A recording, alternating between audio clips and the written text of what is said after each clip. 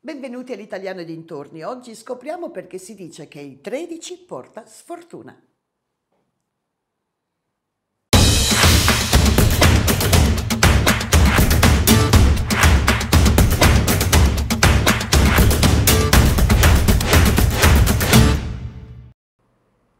Davvero il 13 ci porta sfortuna e soprattutto venerdì 13. Da dove deriva questo modo di dire? Beh, diciamo che la prima origine risale alla mitologia eh, scandinava. Si diceva praticamente che c'erano 12 semidei, poi arrivò Loki, un, eh, un altro semidio, e, ma molto crudele con gli uomini. Ecco perché in quelle terre il 13 porta davvero sfortuna, è di malaugurio. Un'altra, diciamo, ipotesi è quella legata al all'ultima cena di Cristo, dove c'erano 12 apostoli più uno, che era Giuda.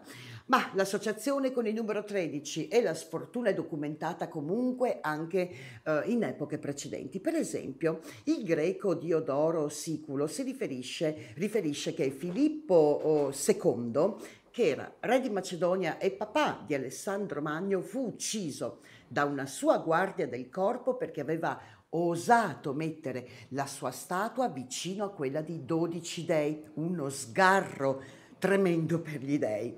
Ma eh, forse la differenza, diffidenza, insomma l'avversità verso il numero 13 risale ad epoche ancora più lontane, quelle ad esempio delle concezioni astrologiche degli assiro-babilonesi. Eh, loro dicevano che il 12 eh, era un numero sacro, facilmente divisibile. Ecco perché quello dopo doveva per forza portare sfortuna.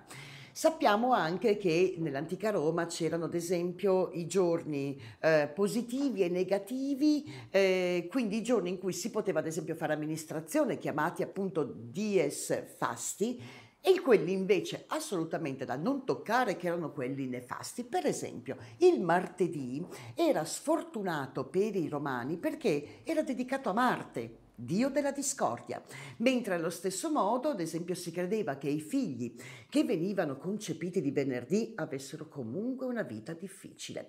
Ecco che tutti questi modi di dire vengono ovviamente da delle dicerie, da, da, da modi di pensare in epoche diverse.